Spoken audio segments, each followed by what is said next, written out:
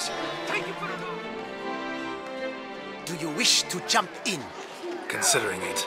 So you're not surprised. Consider this as well. Here, intellect counts as much as strength.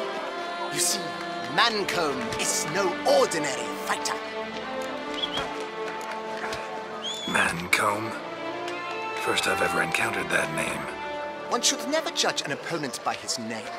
Master Mancomb is a savage, though a valiant one at that.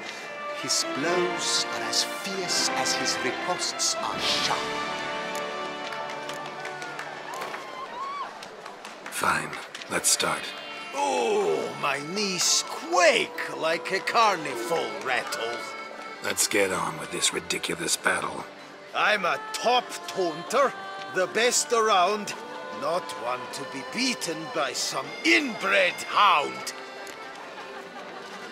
Your taunts? I've heard dogs retch things more profound. Hear how pathetic and stupid you sound.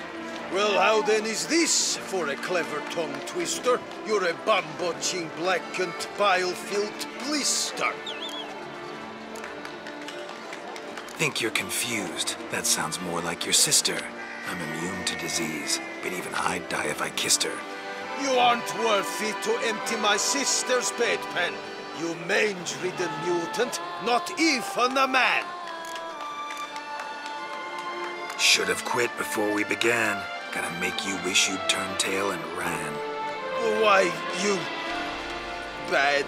Uh, uh, I've got to admit, you know how to roast a man. You win. Mean we're not gonna fight? Why? I told you, you've won.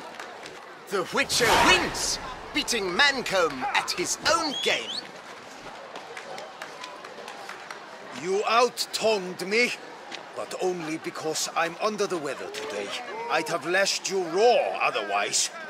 Right, sure.